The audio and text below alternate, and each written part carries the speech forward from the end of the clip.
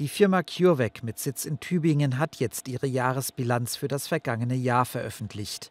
Danach lagen die Umsatzerlöse bei knapp 54 Millionen Euro, knapp 14 Millionen Euro weniger als im Vorjahr. Das entspricht einem Rückgang von 20 Prozent. Der operative Verlust belief sich auf 274 Millionen Euro. Das sind 25 Millionen Euro mehr als im Vorjahr.